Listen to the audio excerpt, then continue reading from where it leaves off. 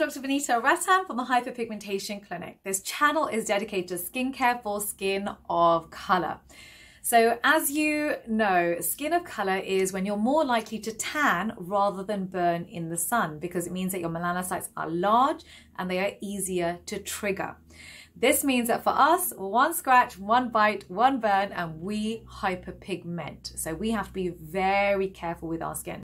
Unfortunately, 90% of what's been made in terms of skincare hasn't really been made with skin of color in mind. And so this channel is about deciphering INCI codes, so the ingredients list, and telling you whether or not it's worth purchasing something. It's also really important that you know that none of my channels have ever been sponsored and they will never be sponsored because I really want you to have an evidence-based resource for skin of color, not only for us, but also for our children.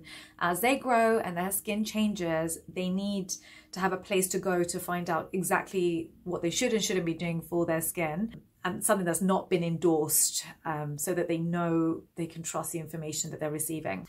Right, so today's video has been requested and requested and requested.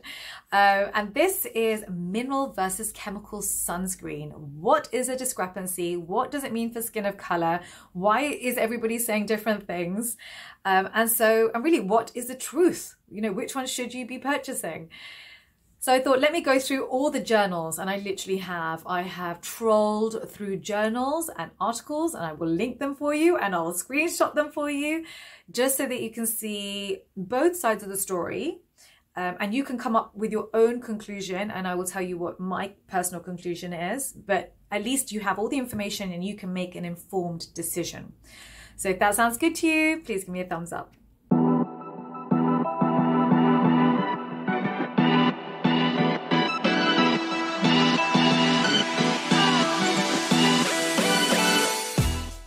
Okay, so first of all, what are publications? How does this all work? How do we come to a conclusion? So what would happen is, say somebody, um, a science group will conduct an experiment and they will write up that experiment. They'll talk about how many people the clinical trial was done on, what the how it was measured, if there was any conflict of interest, etc. So this is all written up in an article. That article is not just published, it has to go through peer review before it's deemed good enough to publish.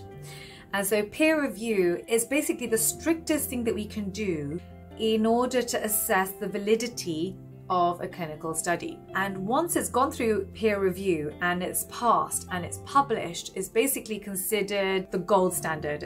We all then read from the same hymn sheet. And this is one way of making sure that we don't have people saying lots of different things and there's evidence behind what's being said. So it's very important for medicine and for science to function in this way.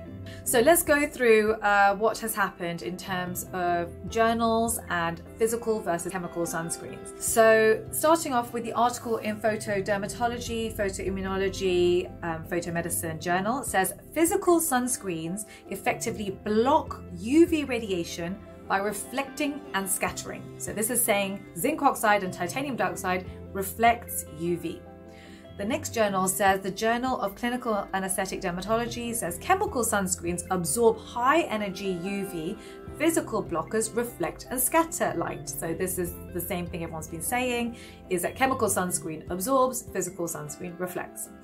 The next journal says uh, chemical filters absorb photons of UV radiation, promoting a change in its chemical structure. Physical filters promote reflection of UV rays. So exactly the same thing. Chemical sunscreens absorb, physical sunscreens reflect. Okay, so we've all been saying the same thing. Okay, so next it's really important to understand what exactly is UVA and what exactly is UVB.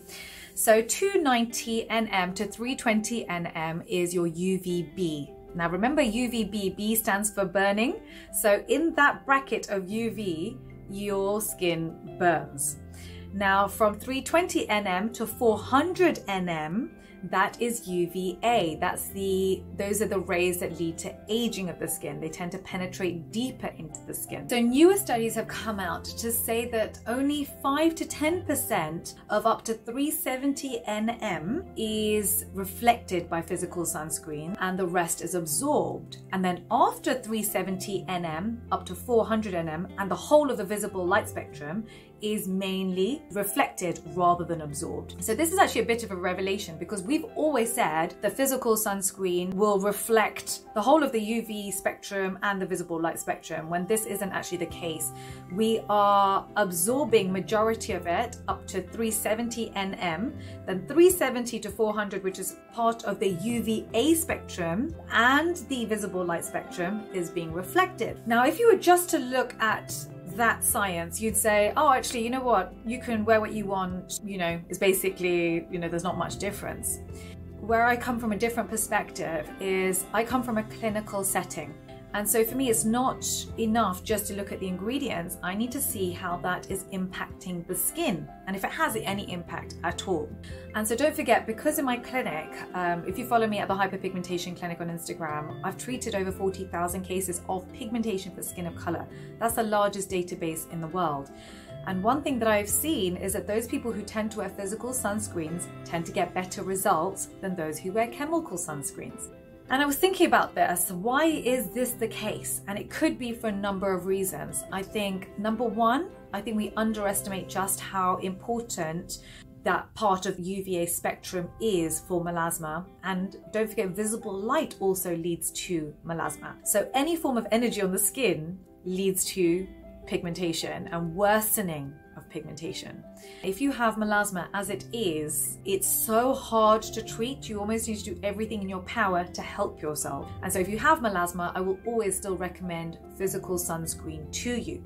And me myself, I get melasma. This is why I wear physical sunscreen. In fact, not only do I wear just physical sunscreen, I also wear a physical barrier, my Dr. V sunglasses on top, uh, in order to help myself as much as possible.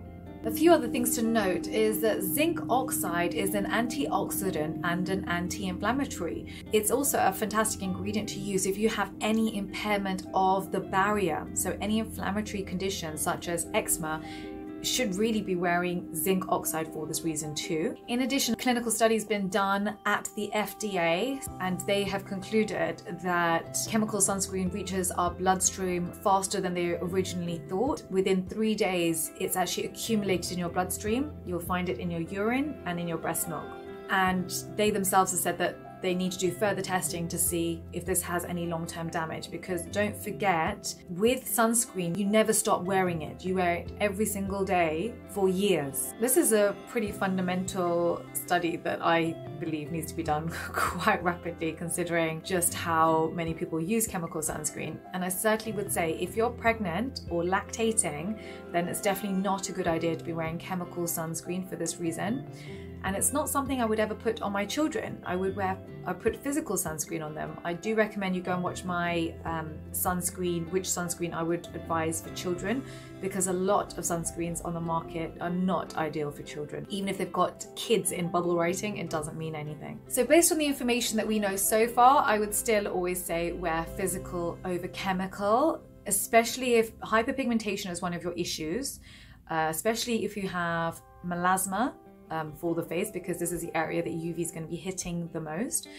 Um, or if you have any inflammatory conditions such as eczema, such as PIH from acne. Um, I'd also say for children, physical is better, and if you're pregnant. There's still so much we don't know, and I think this is a very important point to bring up in this video. There are only so many clinical studies that have been done.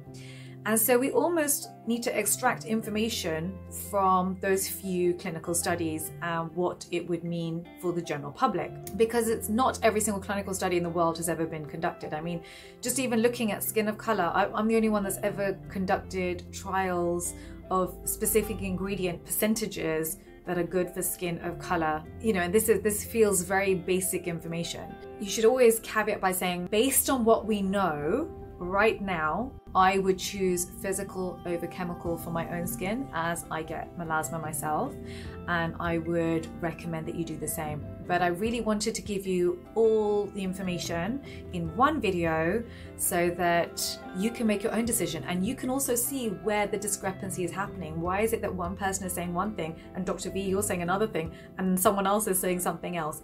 This is the reason why. And now you are empowered and educated and can make your own decision as to what you want for your skin. Don't forget to download your free guide. The link is below. Don't forget to follow me on Instagram at the Hyperpigmentation Clinic and Skincare by Dr. V. I ask you so many questions about what you want on this YouTube channel. So please do follow me and get your voice heard.